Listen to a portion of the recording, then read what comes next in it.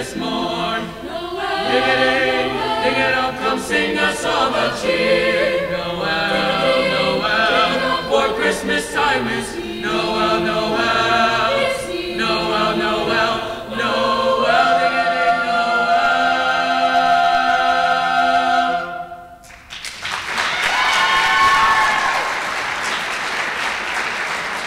Welcome back.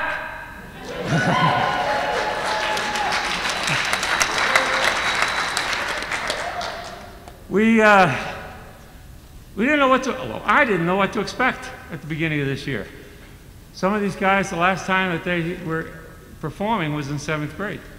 And uh, so we kind of went and looked at some of our tried and true stuff and decided that this is what we would look at. Um, our next piece is something that we've done a few times along the way, and it's a, a medley of two traditional folk songs.